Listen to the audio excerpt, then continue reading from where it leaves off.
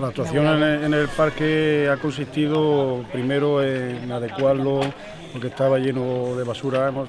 puedo decir que hemos sacado cuatro contenedores de basura de todo tipo. Se ha procedido a la limpieza y de broces de toda la zona, que estaba en unas condiciones también lamentables. Se ha sustituido la valla que tenemos aquí a la espalda completamente, que estaba totalmente deteriorada. Se han sustituido farolas que faltaban. Se ha puesto una pila de agua. Se han limpiado de graffiti toda la zona, tanto de juegos infantiles como de, de merenderos, porque también estaba en unas condiciones un poco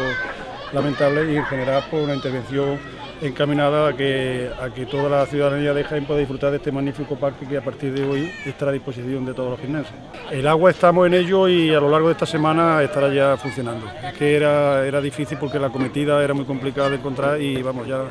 puedo asegurar que a final de esta semana estará en funcionamiento. Tengo que recordar la dejación de funciones de socialistas y comunistas en el del gobierno de la ciudad de Jaén, porque esto fue cedido a la ciudad de Jaén por parte de la Junta de Andalucía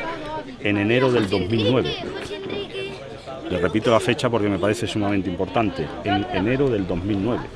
que es cuando se tenía que haber puesto a disposición del conjunto de la sociedad gendense y además queremos complementarlo precisamente a través de una concesión administrativa con lo que significa el kiosco y concretamente la zona de bar de forma y manera que esperamos que a la mayor brevedad posible, porque eso lleva un procedimiento administrativo, hay que sacarlo a concurso, los interesados se tienen que presentar, hay que baremar y una vez que se barema en el ámbito de ese pliego técnico se procede a la correspondiente adjudicación, que a la vuelta del verano indudablemente estén adjudicados y por lo tanto haya personas que estén trabajando y vengan a complementar fundamentalmente la oferta que hoy evidentemente estamos poniendo a disposición de la sociedad jiendense. Fundamentalmente nuestra intención desde luego es que evidentemente tenga un mayor horario de apertura, será fijado de común acuerdo en este caso con mantenimiento urbano y con policía local, al objeto de que efectivamente se establezcan también vigilancias periódicas